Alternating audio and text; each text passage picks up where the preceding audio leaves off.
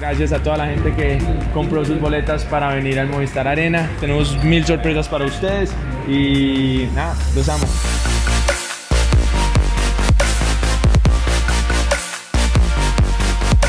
Y el riesgo final que realmente, más que un riesgo, fue creo que la mejor decisión de mi vida fue lanzar este álbum Fantasía, que es de ustedes y ojalá así lo sea por el resto de la vida.